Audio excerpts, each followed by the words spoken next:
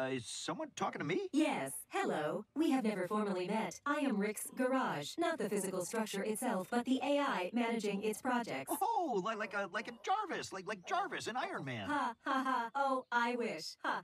Are you a Marvel fan? Who isn't? Yes, absolutely. Wow. It is like we are best friends. Best friends.